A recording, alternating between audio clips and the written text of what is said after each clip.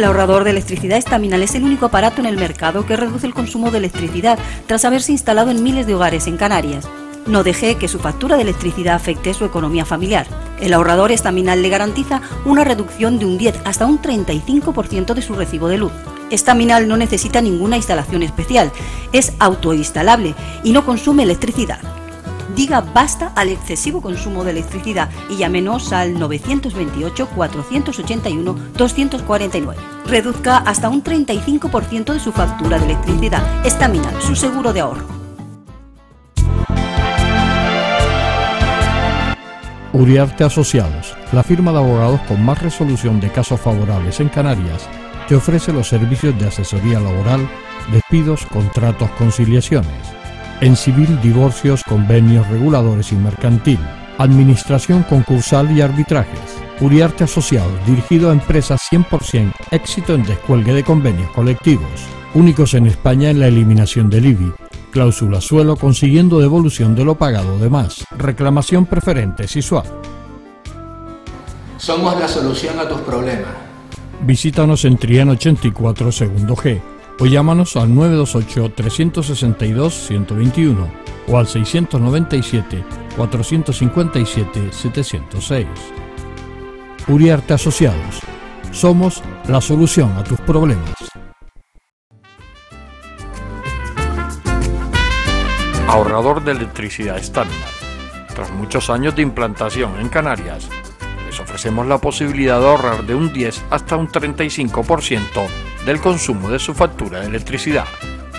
Tenemos un ahorrador que se adapta a sus necesidades sea cual sea su tipo de negocio o industria. Muchos ahorradores puede encontrar en el mercado, pero solo Staminal ha demostrado su eficacia. No deje que los gastos abusivos de electricidad afecte su economía de negocio. Pídanos presupuesto sin compromiso al 928-481-249. Ahorrador de energía estaminal, la solución a sus problemas de exceso de consumo. Ahorre de un 10 hasta un 35% de su factura de electricidad. Hola, buenas noches. Empezamos aquí el enfoque. Como han visto, bueno, pues hoy vamos, como han visto en el cartel de presentación, como siempre digo, hoy vamos a hablar de la situación económica en España, esa crisis económica que bueno, pues durante todos estos años hemos vivido con nuestros colaboradores que ahora mismo les voy a presentar o que son viejos conocidos de los telespectadores. A mi izquierda, Ramón Rodríguez. Buenas noches, Ramón. Hola, buenas noches, José Luis. Eh, y a mi derecha, el tocayo, José Luis Díaz. Buenas noches, José Luis. Buenas noches, José Luis. Bien, digo que eh, muchos años los dos con, con esta casa, ¿no? Ya he perdido la cuenta, pero a través de dos programas de televisión, el Foro Laboral y el Enfoque, ¿no? El enfoque, por lo menos 14 o 15 14 15 años, ¿no? Llevamos. Como mínimo. Como mínimo, yo creo que son más, pero bueno. Eh, ellos venían en un determinado momento, eh, llegaron como representación sindical en aquella época, y, bueno, al final mm, hicimos tan buen trío que al final mantuvimos ese programa en el foro laboral en aquella época y después se continuó en el enfoque y el enfoque que creo que lleva ahora mismo como 10 años o 11 años, pues bueno, pues siempre han estado aquí. Ellos en su momento vaticinaron mm, la crisis, ya lo decían en el año 2006, lo que ellos no sabían eh, era lo grande que iba a ser. Ellos calculaban una crisis más o menos dentro de un orden. Lo que pasa es que eh, se fue, se fue de las manos y eso no fue una crisis, esto ha sido una guerra. ¿no? Eh, año 2015, eh, elecciones 30 de mayo, cambios en los ayuntamientos, gobiernos autónomos. ¿Qué, balance, qué, impresión te da ahora? Y el Senado, ¿eh? Que, y el Senado, que es lo más importante de España. Bueno, el otro día escuchaba, escuchaba a ese muchacho a ese muchacho que se iba a presentar con un partido del solo para cargarse el Senado. Se iba a presentar ahí para cargarse el Senado porque no, no, no hacía nada el Senado. Irónicamente, a lo mejor es el que más hace. El que más hace, claro. Porque sirve para tan poca cosa el Senado. O sea, porque, ¿qué viene a hacer el Senado? es que no tiene ninguna explicación, salvo que todo el mundo sabe que es el cementerio de elefantes, ¿no? que va todo el mundo a morir allí, ¿no? Casi todo. El político que ya está... Que termina ya sus años de, en el mentidero, en el otro. pues va a parar a ese para para no hacer nada. O Pagarse unas perrillas antes multiplicar por cero, como digo yo. Que es una, barbaridad. Y luego luego las cosas que pasan ahí, pues luego tiene es un coste impresionante que, lo pagamos nosotros y demás, y, bueno, y ya ves, eh, de aquellos polvos estos lodos. Porque quieres imitar eh, otros modelos eh, de otros países, que es verdad que existen dos cámaras también, cámara alta y baja y, demás, pero tiene otras funciones. Aquí han intentado que sea una representación territorial, pero es representación territorial de los elefantes, del cementerio de elefantes otra vez. O sea, que viene a ser lo mismo. Es un disparate, un disparate. Pero bueno, pasa con otras muchas más cosas, ¿eh? que por eso no va como no va. Y como decía yo en otra ocasión, no hemos llegado a lo de Grecia de milagro. ¿no? Porque la verdad que el despropósito es terrible, de cómo se utilizan las administraciones, las instituciones para lucrarse, para hacer tratos de favor, para desmejorar el funcionamiento y llegar al caos total, porque no es, no es por una crisis económica ni nada de esto, esto es por una crisis institucional, eh, eh, administrativa y de, bueno, de, muy, mala gestión política y eh, social y demás, porque claro, la población también interviene en todo esto. O sea, la gente se deja comprar, se deja vender y demás, y de ahí vienen por todos estos desastres. Que no sé si venías por ahí. no, venía, venía porque, ¿qué impresión tienes de estos cambios últimos, de estas coaliciones en los ayuntamientos, en los gobiernos autónomos, después de las elecciones del 30 de mayo? ¿Cómo has visto que ha caminado esta, esta situación económica de España? Hombre, no, no, es, no es fácil, no es fácil eh, eh, opinar sobre algo que no lleva tanto tiempo eh, en marcha. para hacer un balance lo más objetivo posible, pues sería a lo mejor un poco temerario por mi parte opinar al respecto, decir, bueno, mira, están haciendo bien o mal. Es verdad que no se están viendo cosas, por cosas que puedas destacar, pero también es cierto que habrá que dejar un margen de, tiempo a aquellos que son nuevos, porque el, mapa político, como también bien dijimos en su día, ha pegado un cambio sustancial. O sea, aquello de que habían prácticamente dos partidos políticos en la mayoría de los casos, eh, eh, que digamos que estaban pivotando en casi todas partes, incluso en las administraciones locales, pues ha desaparecido. Ahora ya, incluso algunos, en algunos casos, han desaparecido precisamente los dos partidos mayoritarios, digamos, de los y curiosamente en, en, ciudades sumamente importantes, ¿no? como el caso de Madrid, Barcelona, de Valencia y demás, que, bueno, que, han pegado un cambio sustancial, ¿no? que donde la ciudadanía ahí sí que ha, ha castigado, más que,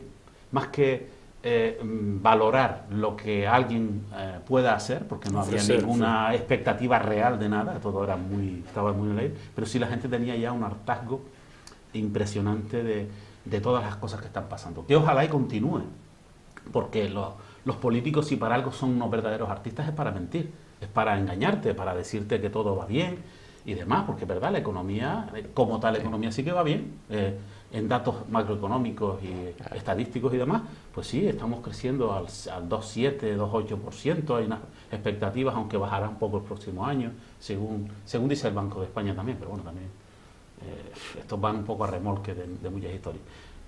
Y que, y que según los expertos, eh, eh, el, crecimiento del empleo, que es uno de los grandes indicadores del crecimiento económico y demás, pues está, estaría a partir del, 2, del crecimiento del 2%, lo cual, si estamos 7, 8 décimas por encima, es indicativo de que puede haber una creación de empleo real, ¿no? empleo neto que se llama, porque a veces esta, esta fluctuación que hay de, creación de empleo y demás eh, es una gran mentira porque lo que está haciendo es que se desaparece tanto como aparece.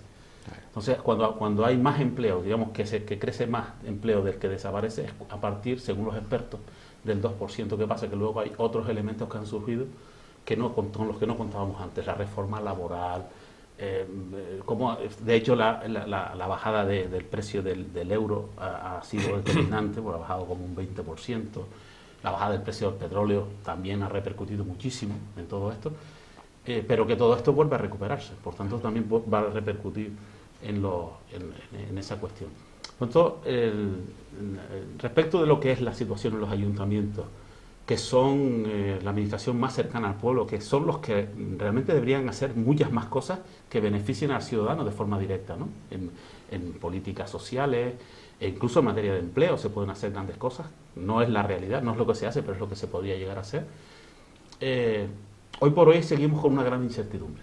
O sea, yo no me atrevería hoy a juzgar o prejuzgar qué puede pasar en los próximos años eh, porque también, o sea, quiero decir que también a nosotros nos ha afectado esta entrada de, dos fuerzas políticas eh, recientes, muy nuevas, muy, muy calentitas, pero que todavía no nos pueden dar una información que, con la cual podamos decir, mira, pues sí, esto marca una diferencia eh, importante o sustancial con respecto a lo que estábamos viendo anteriormente. Hace falta algo más para que veamos algunos resultados importantes para, debatir. Eh, José Luis, eh, ¿podemos decir que, estamos saliendo de la crisis económica? Bien, eso tiene dos aspectos. Eh, como decía Ramón, en en el, plano macroeconómico estamos saliendo de la crisis económica. Evidentemente la economía está creciendo, las perspectivas de crecimiento se mantienen en un porcentaje suficiente para crear empleo. Bien, pero la macroeconomía está muy bien y tiene que ir bien, pero no es suficiente, tiene que ir la microeconomía. ¿Cómo está la gente, la familia? Pues hombre, eh, la microeconomía no está tan bien como nos gustaría, porque sí es verdad que, se empieza a ver algo más de empleo, y ese empleo, bueno, son sueldos que después se reinvierten porque hay que gastar y realimenta el sistema y terminará mm, empujando el crecimiento. Mm, en la, hay mucho, demasiado paro, hay demasiadas familias casi sin prestaciones, hay demasiados jóvenes sin trabajo, hay demasiados mayores sin trabajo. A mí me preocuparía incluso más lo de los jóvenes, porque el mayor, bueno, hay siempre mecanismos y tal, y al final en un plazo relativamente corto pues se termina jubilando. Pero el joven es que hay generaciones enteras que se van a perder, porque claro, cuando la economía mejore, ¿cómo van a trabajar si no tienen experiencia ninguna? Porque nunca se les ha dado la oportunidad. Es decir, ese ciclo regresivo que hay ahí habría que corregirlo con otras medidas que no parece que se estén adaptando. España ha duplicado el número de ricos en esta crisis. Claro, el número de pobreza ha disparatado, pero como el dinero no crece en los árboles, ¿de dónde sale el dinero para duplicar los ricos? Pues de la mayoría de los pobres. Es verdad que no todo, porque hemos empezado a exportar un poquito mejor y esa exportación pues hace que dinero de fuera nos venga aquí, pero la mayor parte ha salido especialmente de la clase media. Y lo que era una clase media media, por decirlo de alguna manera, se ha convertido en una clase pobre. Vía los recortes, vía los impuestos, vía un montón de cosas. Porque el que no tenía dinero no podía pagar impuestos porque no tiene. ¿Quién ha pagado? Pues esa clase media que la han convertido en pobres. Eh, ¿Esas medidas han logrado sacarnos de la crisis, al menos del punto de vista macroeconómico? Sí. El problema no es el cómo sacarnos de la crisis, que se, más o menos se ha hecho, eso hay que reconocerlo, por lo menos en parte, sino cómo se paga esa salida de la crisis. La han pagado los que menos tienen, los que deberían pagar más no han pagado nada porque hay mecanismos para tenerlo fuera, aparte de lo que se lo llevan directamente, ¿no? que hemos visto no, no, incluso hay mecanismos legales mediante empresas interpuestas, etcétera, etcétera, etcétera, en las cuales pues se, se difumina todo eso. Estamos saliendo, afortunadamente, se está aprovechando, eh, es verdad que tenemos circunstancias puntuales, como efectivamente la bajada del petróleo, eh, en, la, en el área turística como estamos nosotros y especialmente Canarias, bueno, eh, Grecia Mm, ha tenido su crisis y hay mucha gente que iba a Grecia con sus atractivos que se nos ha venido para acá. Todo el norte de África se nos ha venido en parte para acá, Egipto se nos ha venido para acá y otro, otra parte, un gran competidor futuro de Canarias y presente también, que es Turquía. Se nos han venido para acá porque como tiene una guerra prácticamente en la frontera, pues la gente se asusta. Pero mm, yo lo que creo es que no se están tomando las medidas ni empresariales ni institucionales para aprovechar estas circunstancias que nos ha caído del cielo, bueno, tienen problemas allí, es verdad, lo sentimos, nos ha bajado el petróleo, estupendo, todo esto para mejorar, porque esta situación cambiará, esos países se estabilizarán y una parte de esto de turismo se nos irá de nuevo. A no ser que tomes medidas ahora para consolidarlo, para hacer unas ofertas mejores, para mejorar el servicio, uno se va al sur y ve el mismo ambiente de funcionamiento y de servicio que hace 10 años incluso que hace 20, lo puede comprobar cualquiera. Es decir, bueno, y esa subida que tenemos, ¿no se está una parte desviando a, mejorar todo esto? Pues no parece que eso esté ocurriendo. Cuando venga una parte se marche, aquí entraremos de nuevo en crisis. O daremos una bajada, no se sabe hasta qué profundidad llega, pero una bajada importante por falta de visión de futuro. por falta de decir, sí, me está yendo bien, estoy creando empleo, sí, pero mm, piensa que las cuestiones sociales de este tipo y económicas tienen ciclos. Estamos, parece que estamos empezando a subir por un ciclo de subida, lo cual nos está empujando por, de una cierta manera, pero hay que hacer las cosas mucho mejor para guardar un poco para que cuando venga la parte de bajada, pues podamos atenuarla, vendrá, bajarla, atenuarla, diversificar nuestro mercado, que se ha hecho un poquito, pero no lo suficiente, y todo eso se nota en toda España y especialmente en Canarias, que tenemos problemas específicos mm, todavía más graves que el resto de España. El. Eh, el tema de, la inmigración, sobre todo en los últimos tiempos, se ha puesto de moda. El, coger refugiados de guerra, en este caso España, bueno, se hablaba de unos 35.000, 40.000 personas. Eh, España está económicamente, porque España es uno de los países hay que decirlo, eh, de la parte baja ¿no? de la clasificación, con muchísimo paro, con muchísima pobreza, muchísima gente pasando hambre. Eh, estamos en capacidad de ayudar a alguien cuando yo creo que debería eh, pedir ayuda exterior a España para poder pagar a toda esa gente. claro, es que hay Ahora vamos lo tienes que decir en un tiempo cortito, porque una, estamos enorme, fuera de tiempo. Una enorme contradicción. Es decir, España es una potencia, económicamente hablando, cuando hablamos de macroeconomías y demás, y que en el ranking está pues entre los primeros de Europa, de los países, de, eh, Alemania, Italia, eh, Francia. España, ¿no? Más o menos. Y, pero luego en la realidad, es verdad, eh, que luego tenemos un déficit enorme en todas esas cuestiones. Hay un, arco terrible de, de, diferencias sociales, de, de agravios, de pobreza y demás, que luego mm, cuando vienen estas cosas dice, bueno, parece que España va a ser una de las punteras a la hora de, recibir gente, que yo entiendo que sí, la solidaridad forma parte del, de la política de, cada país, es, evidente, no se puede obviar.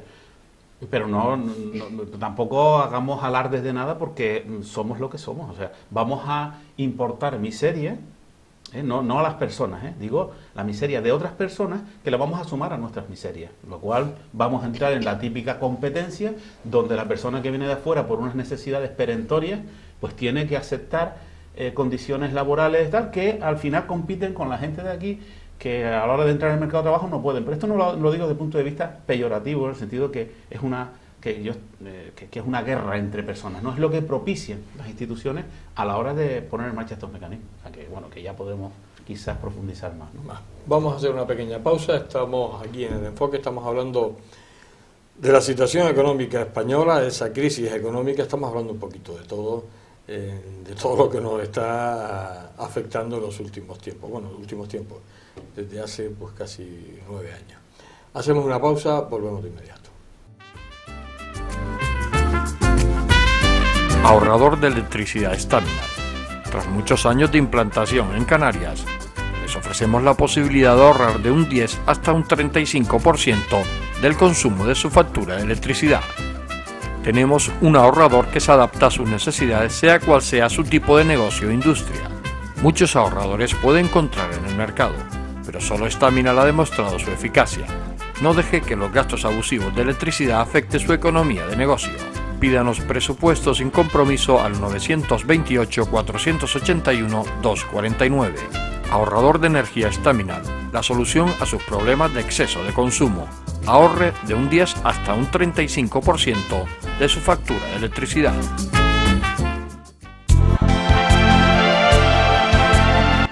Uriarte Asociados, la firma de abogados con más resolución de casos favorables en Canarias, te ofrece los servicios de asesoría laboral despidos, contratos, conciliaciones.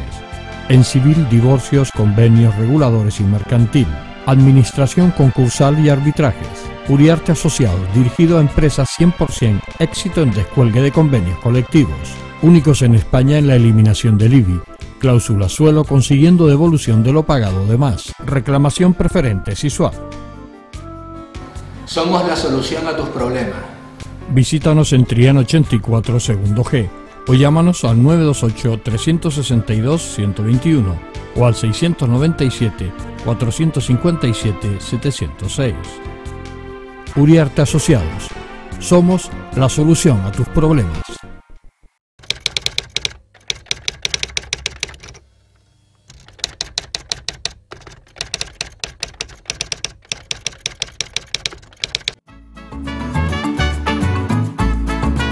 El ahorrador de electricidad estaminal es el único aparato en el mercado que reduce el consumo de electricidad tras haberse instalado en miles de hogares en Canarias. No deje que su factura de electricidad afecte su economía familiar. El ahorrador estaminal le garantiza una reducción de un 10 hasta un 35% de su recibo de luz. Estaminal no necesita ninguna instalación especial, es autoinstalable y no consume electricidad.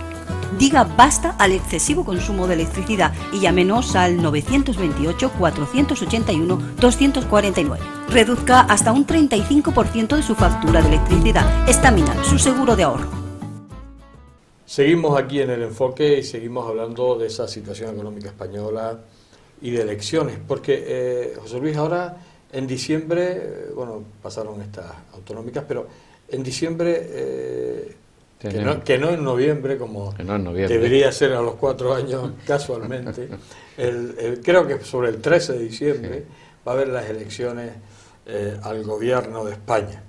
Eh, ¿Cómo ves tú esto? Porque eh, los medios de comunicación tienen una presión muy grande y pueden cambiar muchas cosas, ¿no? Sobre todo la opinión pública, porque depende de de qué signo tenga el medio, porque además aquí ya también tienen su... Hay unas publicidades de un tipo, de, de otro. lado, de otro, ves tú cómo manejan la tortilla. No son neutros cuando deberían ser neutros. Bueno, hombre, se ve con bastante, eh, una cierta incertidumbre. ¿Por qué? Pues bueno, por los dos grandes partidos ya se ha demostrado en elecciones anteriores que se han derrumbado bastante. Eso sí, ganado a pulso, hay que decirlo decir, méritos propios. Méritos propios, por méritos propios. Nadie les ha regalado eh, nada. Nadie les ha regalado nada. Eh, y cuando hace una cosa contraria a su programa electoral, tampoco la explica, porque hay, hay, veces que tiene que hacer una cosa que habías prometido que no lo ibas a hacer, pero si lo explicas lo suficientemente claro y la gente lo entiende, pues entiende y entonces no pasa nada. ¿no? Surgen fuerzas nuevas, como Podemos o Ciudadanos y algunos más que irán surgiendo, eh, que tienen un gran auge, y tienen un gran auge como consecuencia de lo que decía Ramón antes, de un castigo más que de un premio por mérito, porque no lo han tenido tiempo de hacerlo, entre otras cosas. Eh, eso generará una cierta fragmentación de, de las elecciones. La gente además está muy indecisa. Porque claro, eh, algunas de las nuevas opciones son bastante radicales y entonces esto, eh, cuando se trata de controlar no un ayuntamiento, sino una nación entera. Y sobre todo porque han visto ejemplos a lo mejor en otras naciones. Sí, también, es decir, eh, pero los experimentos con un, ayuntamiento se pueden hacer y tienen sus consecuencias pero hacerlos con una nación entera pueden ser muchísimo más peligrosos, pues, sobre todo recuperar si sale mal.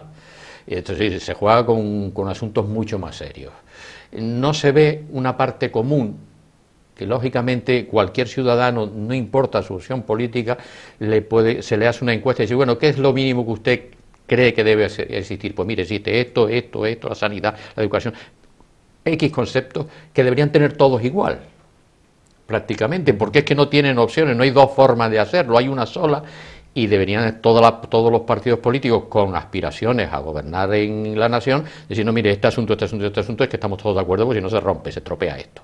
Y después cambiamos pues en cómo se hacen las ayudas sociales, como los detalles que lógicamente cada partido tendrá sus... Bueno, no se ponen de acuerdo. Incluso uno aporta una idea estupenda y el otro pues se lo lleva, le lleva a la contraria por el hecho de llevarle la contraria, no porque la idea sea mala. Hay ideas buenas y malas en todos los partidos. El problema probablemente es una cuestión estructural de nuestra estructura política, que, no, eh, que se montó para una cosa, se montó para una transición, probablemente estuvo, vamos, probablemente no, estuvo bien para esa transición, pero una vez hecha la transición debió modularse y ya elegir que el ciudadano ya es mayor de edad, por decirlo de una cierta manera, que elige personas en función de sus resultados, como hacen otros países, no partidos políticos, que se convierten en centros de poder, de poder de sus dirigentes, no de sus afiliados. Eh, y, y, entonces manipulan cualquier cosa con tal de permanecer en el poder. Eso ha ido en contra de los ciudadanos. De vez en cuando aciertan, lógicamente, nadie se equivoca en todo, pero cuando se equivocan, se equivocan de verdad. Eso ha generado un panorama bastante oscuro. A ello se le añade, ya te digo, la preocupación de muchísimos ciudadanos de las opciones muy radicales, eh, lo cual genera que hasta último momento la gente no tiene claro a quién votar. Dice, a este no le quiero votar porque me lo ha hecho mal, pero a quién le voto, cuidado, con este que tampoco porque me puede romper el país. Es decir, se queda en, un, en una indefinición que pueden cambiar todo, incluso hasta en el último momento. Eh, yo decía, le comentaba a José Luis que, bueno, pues también, y además tú creo que tú lo sentías, esos cambios que ha habido en otros países con ese tipo de opciones eh, habrán retraído también a algún votante al ver que no que al final todo es más de lo mismo. Sí, no solo eso, ¿eh? no solo eso también son los comportamientos que se van eh, se van produciendo a, nivel de aquí. Por supuesto que tiene una repercusión importantísima. O sea, si vamos a lo concreto, que todos estamos pensando en Grecia, y en y toda esta historia, es verdad que ahí se ha producido un caos terrible. O sea, que hecho no lo metes a viaje de ninguna manera. O sea, es que son todos los despropósitos que yo creo que se le suman y, bueno, ganan por goleada a cualquier opción que puedas ver por ahí. Y eso eh, repercute y de hecho ha mermado la intención de voto con respecto a, Podemos, pero también Podemos tiene, está eh, ganando algunos méritos con la actitud que ha tenido, que ahora parece que está cambiando el sentido otra vez, eh, del apoyo incondicional a la política de Venezuela, donde radican todas las críticas, o casi todas las críticas eh, de los otros partidos, de los dos partidos mayoritarios en España, pues han ido siempre a la línea de flotación de que, es Venezuela en este caso. ¿sí? Porque ellos se han mirado mucho en Venezuela para, para, para ver el modelo en España, para, para proponer un modelo en España, lo cual me parece una temeridad terrible terrible, terrible. Eso no, no puede ser ejemplo de nada, en absoluto. O sea, que no tiene. a mí, desde que se, se cortan las libertades, para mí multiplicas por cero todo lo que quieres hacer. Todo. O sea, no tiene ningún sentido. Para nada. Ni de modelo, de nada. Está trasnollado el, modelo este pseudo comunista, porque yo no creo ni que sea el modelo comunista eh, que emana de, de, Lenin o de, de, esa época. Está todo trasnollado, todo hecho en un despropósito. Entonces, pues no tiene no tendría aplicabilidad ninguna, incluso en España. ¿eh? Con nuestro modelo y demás sería imposible de, extrapolar. Entonces, mm, lo, que, lo que hoy por hoy está pasando es que se están viendo determinadas cosas que no se proponían. Antes hablábamos del efecto rebote, es decir, ¿qué, lanza, qué, mensaje lanza Podemos o Ciudadanos? Pues algo alternativo, de real, pero real, a lo que está pasando. Y por eso el ciudadano ve cosas, dice, oiga, pues sí, tienen razón, porque son cuestiones obvias de perogrullo, es decir, esto es verdad. Y por tanto, oiga, pues bueno, lo que tiene que seguir haciendo estos, estos y otros, como decía José Luis, que aparecerán, es destapar la realidad, es decir, transparentar. No que ahora se esté o se esté, se, haya sacado una ley de transparencia para. Eh, mira, perdona, la ley de transparencia no, a mí no me viene a resolver nada, porque siguen siendo los mismos chorizos los que están eh, diciendo que se transparenten sus chorizadas, ¿no? Digo, eh, perdona, o sea, esto no me vale como, como, como propuesta. Entonces, eh, lo que tiene que surgir son esas cosas que a la gente sí que le impacta, pero porque es real, porque es real. Oiga, mire, que aquí hay personas que, este, que están, que tienen choferes hasta para ir al baño. Aquí, mm, pues esto, hay, hay cargos políticos que lejos de ser eh, modelos de austeridad son justo lo contrario, del malgasto, del, del, despropósito en, su máxima expresión, eh, pagándoles hasta 1.800 euros por tener, por, porque, o sea, como, como alojamiento, entre otras muchas cosas que cobran, pero que realmente tienen donde alojarse, pero que aquello igual lo tienen alquilado, y bueno, esto no lo persigue nadie, o alguien que cobra eh, una, tiene una, tarjeta para taxi y la, la destina a que toda la familia coja taxi. oiga, que esto no es así. Pero es que alguien tiene que filtrar. Pero claro, es que es lo que estábamos hablando, que son los mismos que legislan eh, los que se preparan las trampas para que luego eh, no los cojan a ellos. Es decir, pero es que, esto me parece un disparate. fíjate que eso es tan sencillo de entender y sin embargo parece que todavía cuesta entenderlo, aunque, aunque se ha entrado en el tema. Yo una cosa que me ha dejado bastante contento es que se ha entrado. Ahora pues cuestión de tiempo y, y que estos tíos que tanto hablan, y perdón por la expresión de lo de tíos, porque es lo que es el lenguaje de un poco de la calle, que tanto se alardean de que bueno que van a hacer políticas para el pueblo, por el pueblo y demás, no están haciendo nada, están, están haciendo para ellos, ¿eh? para sus estructuras internas, ¿eh? incluso ni siquiera para las bases de su, de su, eh, partido. podemos decir que después de esas elecciones por lo pronto nadie va a tener una mayoría absoluta. Eso no hay que ser muy, muy, muy, para, saberlo, sí. va a haber pacto. Sí, eso es bueno. Porque ya sabemos que cuando los partidos Tienen mayoría han, tenido han tenido mayoría absoluta, han hecho lo que les da la gana, pero todos los dos, es decir, no lo han hecho siempre igual, no se escapa ninguno. Lo cual quiere decir que les va a obligar a pactar y hay contrapesos. Y siempre el, contrapeso que faltaba aquí entre los poderes, la división de poderes que no existe en España prácticamente, que era precisamente para contrapesar los poderes del Estado y equilibrarlos, bueno, se va a producir por la vía del pacto. ¿Es esa la solución? Evidentemente no, porque la estructura sigue siendo la misma, pero es una mejora. Es una mejora. Si hubiera habido cuatro o cinco partidos fuertes a nivel nacional desde hace tiempo, no estaríamos en los problemas que tenemos ahora. Eh, pactarás lógicamente con aquellos que tienen más afinidad, pero de otra parte te pondrá condiciones que sean mm, vendibles o que han sido prometidas al electorado, es decir, se mejorará muchísimo la, forma, la forma de hacer. ¿Que llene más trabajo por los políticos? Claro, porque tendrán que negociar mucho, pactar mucho, y además el electorado se ha quedado mucho más sensibilizado de fijarse bien para votar a uno o no votarle. Y eso, y eso es positivo, es decir, eh, es una cosa a medio camino entre lo que tenemos y el de elegir las personas directamente, como pasa en Inglaterra, que no tiene fidelidad a tu partido, sino tiene fidelidad a tus votantes, que es lo que debería ocurrir, eh, ocurrir aquí. Decir, oye, y si no, y cuando no puedas cumplir lo que me has prometido, pues te imites y se acabó. Le dices, señores, yo no puedo cumplir, me voy. Aquí eso no lo hace nadie, aquí te tienen que echar porque tienes corrupción o algo así, algo gordo, porque si no, efectivamente te llevan para el Senado o te llevan al Consejo de Estado o cosas por el O te mandan de embajador. o te mandan de embajador, sí, porque tienes a tu mujer allí. Claro. Sí, eh, que también ha conseguido un puesto y entonces, hombre, no vas a separar la familia, ¿no? Sí, sí, eso se llama, ¿cómo se llama? Agrupamiento familiar. Eso está, está legislado, está legislado, pero bueno, pero no, no a esos niveles, no a esos niveles. Todavía eso no, pero bueno, no. Van inventando. Y mientras tanto dejan la pifia montada aquí. y, queda como un y Claro. es decir, que yo creo que esas elecciones van a ser clarificadoras un poquito.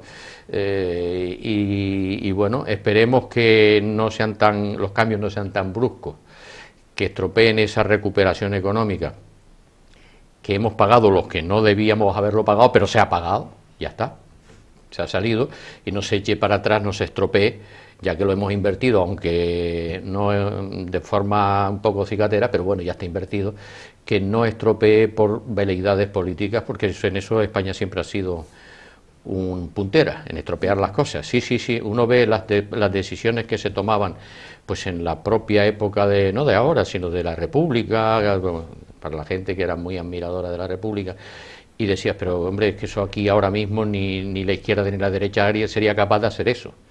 Eran unos disparates que terminó explotando, claro.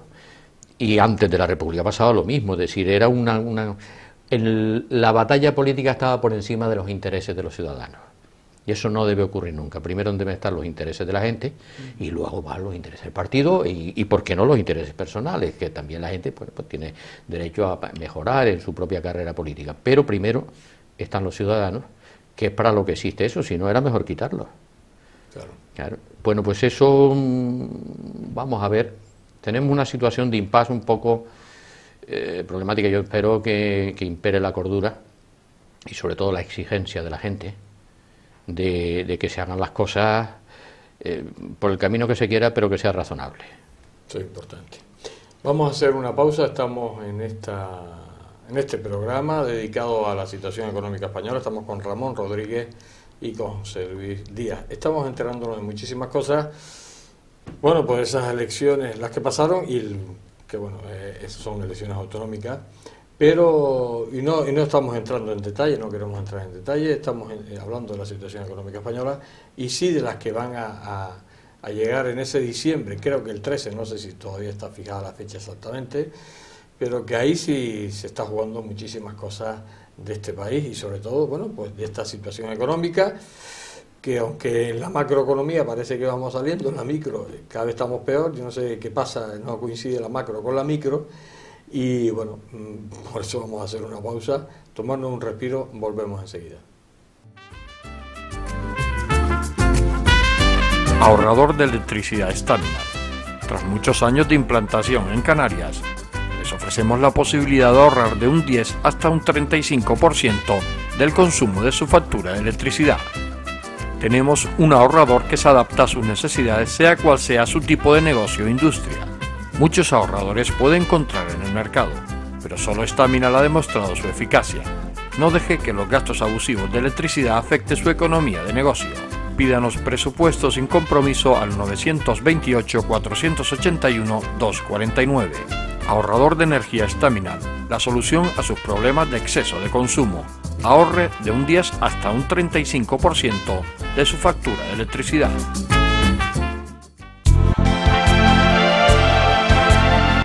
Uriarte Asociados, la firma de abogados con más resolución de casos favorables en Canarias, te ofrece los servicios de asesoría laboral despidos, contratos, conciliaciones. En civil, divorcios, convenios, reguladores y mercantil. Administración concursal y arbitrajes. Uriarte Asociados, dirigido a empresas 100% éxito en descuelgue de convenios colectivos. Únicos en España en la eliminación del IBI. Cláusula suelo consiguiendo devolución de lo pagado de más. Reclamación preferente SISUAP. Somos la solución a tus problemas.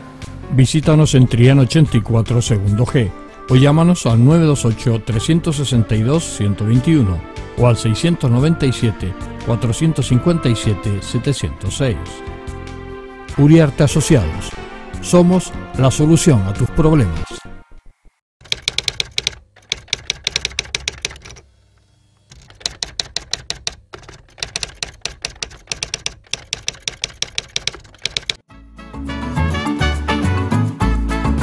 El ahorrador de electricidad estaminal es el único aparato en el mercado que reduce el consumo de electricidad tras haberse instalado en miles de hogares en Canarias. No deje que su factura de electricidad afecte su economía familiar. El ahorrador estaminal le garantiza una reducción de un 10 hasta un 35% de su recibo de luz. Estaminal no necesita ninguna instalación especial, es autoinstalable y no consume electricidad diga basta al excesivo consumo de electricidad y llámenos al 928-481-249.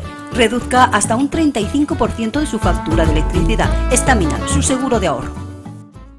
Llegamos a la última parte de este enfoque, de este enfoque que estamos hablando de esa situación económica española, esa crisis económica que hemos venido hablando durante muchísimos años y también de esas elecciones y, y de toda esa eh, preocupación que tenemos, bueno, pues porque no se sabe lo que va a pasar. Está claro que va a haber unos pactos, va a haber unas coaliciones, aquí nadie va a tener una mayoría absoluta, de eso sí creo que estamos seguros, tal como comentábamos, eh, pero yo no sé, eh, podemos ver con optimismo el futuro. hay, que hay que tratar de verlo. por, lo menos, ¿no? Imaginémonos que, imaginémonos que, además de lo que nos están haciendo, nosotros encima lo veamos mal. Tengamos que, bueno, que, que, claudicar y demás, pero que no. pero la cuestión del optimismo tiene que estar acompañada de, de, una, de una actividad, ¿no? que la gente se active, la gente se meta en el, en el meollo, más de lo que se está haciendo, bastante más. Eh, y tomar nota. Yo, una, una, cosa que me llama la atención es de que eh, sin necesidad de que tengamos que estar extrapolando datos de lo que haya pasado en las elecciones autonómicas, además no, no suelen ser extrapolables, pero sí algunas acciones, algunas cuestiones sí que se pudieran tomar como referencia, por ejemplo, lo que pasó en, Andalucía y en Madrid, las dos comunidades, eh, donde los, para recibir el apoyo, en este caso, a la investidura, pues tuvieron que claudicar. ¿eh? Y les costó, a unos más que a otros, pero les costó, porque el caso de Andalucía fue mm, terrible. Decir, oiga, mire, que usted tiene que prescindir de estos dos señores que ya están imputados ahí y que ya no es cuestión de estar dudando a ver si realmente el juez va a determinar, sino, mire, perdón, usted está metido en un fregado y de entrada tiene que desaparecer.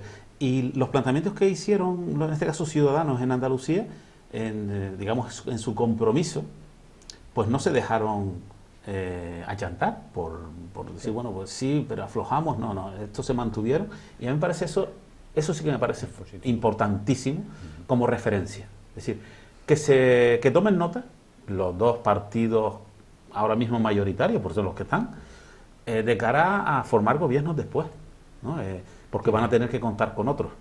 Y que esos otros mantengan su, sus postulados, es decir, su posicionamiento, de cara a que si quieres pactar conmigo, pasa por aquí.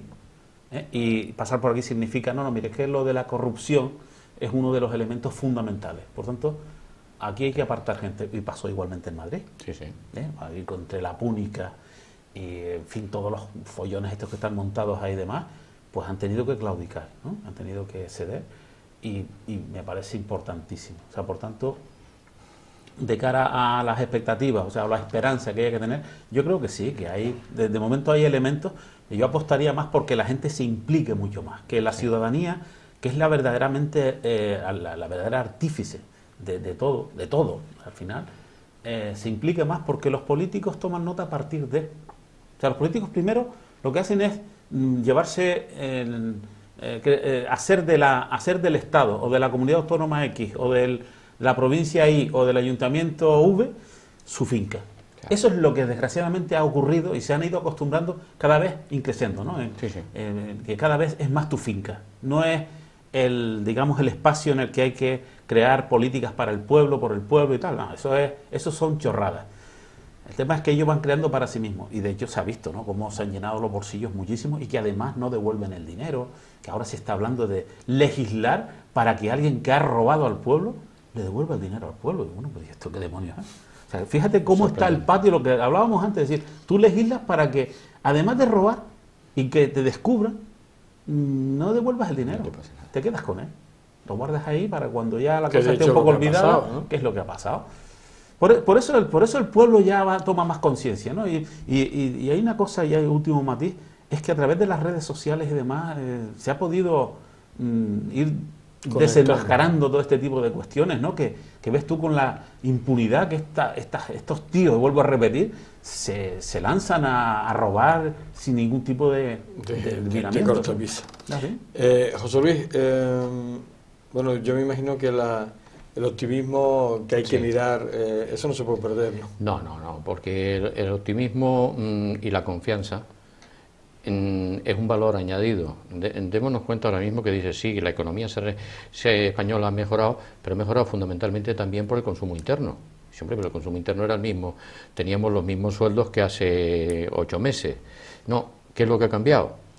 Pues un poco la confianza eh, de que la cosa va a mejorar, que es un concepto inmaterial, pero que tiene efectos reales. Entonces ese optimismo eh, en que vamos a salir de este agujero en que nos han metido, pues es real, o sea, vamos a salir. España ya ha entrado en otra crisis, como hemos dicho alguna vez, y, aquí estamos. Estamos con problemas, pero bueno, se, se, puede salir de la crisis. Es verdad lo que decía Ramón, tienen que participar en las elecciones, que no se queden en casa, que no sean comodones, que es un mal tremendo, y que participen, que estudien bien las ofertas, las que puedan, que analicen cuál es la más sincera y viable y que elijan. Si no, después no se pueden quejar.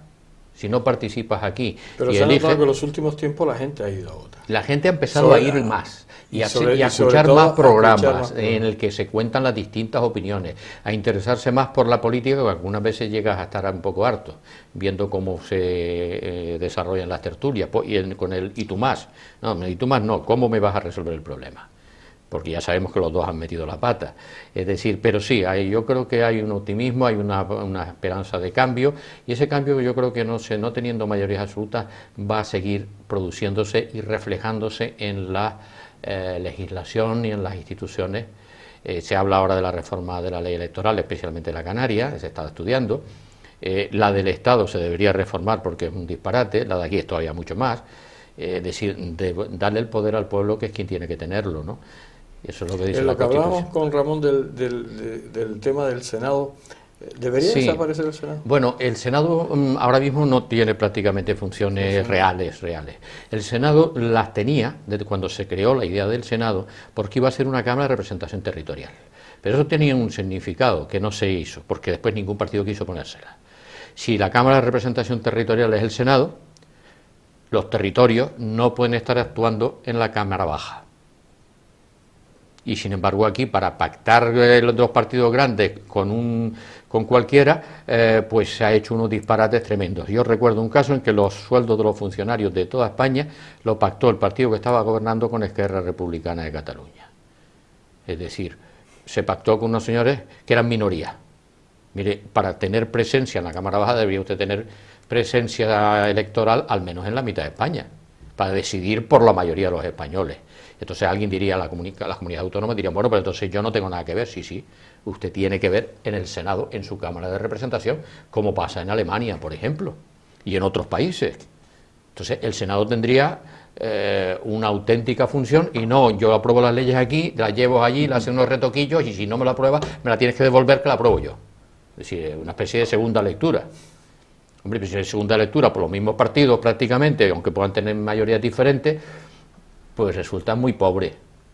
Muy pobre. Debería ser una Cámara donde las comunidades autónomas tuvieran una representación y allí es donde debaten los temas que afectan a las comunidades autónomas como tales no que afectan al ciudadano en particular, al ciudadano español como español, que eso tiene que ser igual para todos y, no tiene nada que ver con las autonomías. Ese es uno de los grandes problemas que tenemos, que según cada autonomía, pues los españoles no son tan iguales como dice la Constitución. O sea que el Senado o lo reforma o lo quitamos. Claro, eh, tiene que reformarse y darle funciones reales, es decir, cuando tenemos una institución que, cuesta un dinero y, no me sirve, pues hombre, eh, y no nos sobra el dinero, pues lo quítalo. Ahora, o bien lo quitas o le das una función, un trabajo que rentable para los españoles, rentable en el sentido político me refiero. Eso es lo que hay que hacer, pienso yo. Pues se nos ha acabado el programa, aparte de llegarle la tos a, Ramón justo en el momento. Es la emoción. Es la emoción. a veces aquí tenemos que contenernos esas emociones, sobre todo cuando hablamos de política y de políticos, que o nos da la risa o nos ponemos a llorar, o en este caso, como a Ramón, que le dio esa tos repentina cuando empezamos a hablar de políticos, porque de verdad que, o nos reímos o lloramos. Y hombre, yo creo que la vida hay que tomársela, como decía Ramón, con mucho optimismo y pensar que bueno que vamos a salir de esta situación económica que llevamos tantos años, claro, es la más larga que hemos pasado, que nunca la hemos vivido así, eh, que nos ha afectado a, nosotros tres aquí, nos ha afectado en el plano personal eh, porque la hemos chupado y la hemos sufrido y la estamos sufriendo.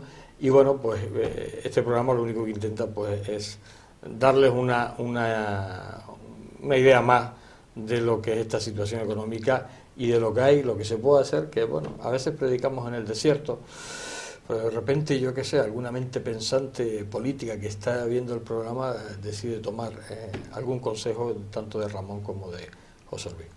De repente seguro que cambia, cambia este país.